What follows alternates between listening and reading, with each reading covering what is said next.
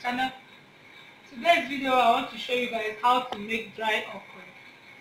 Dry okra is a very simple recipe and it's very nice very simple. And it's very very nice for swallow like with pounded yam. It's one of my best favorite soup. So guys let's jump into this video. So i'm having two pieces of dry fish and goat meat. I've already parboiled and steamed it together.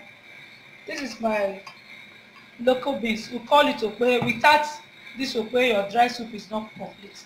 So i'm having grinding pepper crayfish and my maggi seasoning. And you can see the dry okra. You can also use dry okra with ogbono. You can mix it together. The way we mix uh, normal okra and ogbono. So you can also mix your dry okra and ogbono together. So let's start. It's very simple recipe. So now i'm going to add my the goat meat here with the stock this is goat meat and the stock then i'll add additional water. Then you add your pepper. The quantity you want. I love pepper so much so i'm going to add it. Then i'm going to add crayfish now i'm going to pound my local beans my local beans rather. We call it okpehe in my language. So can see the way i pound it. So i'm going to add it now. So let's put it on the fire. So guys on fire now. So let's wait.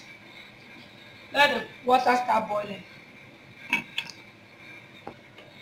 so guys it's already boiling. Let me add the dry fish. So i'm adding dry fish now.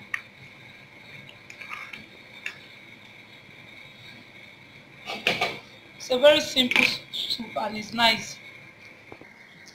Now that the, the everything is boiling let's do the pounding me i prefer this one. This one is my mother's one so i normally pound it by myself like this. But when you want to get it from the market it's already blended so i used to pound it i have it like this in my house. So guys after pounding it look how it looked like. So it's a very nice soup.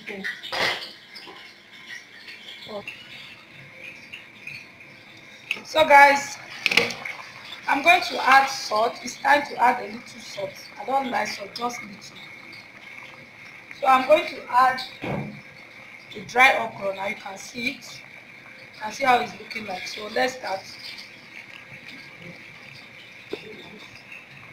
So i'm adding the grinded uh, grinded dry okra.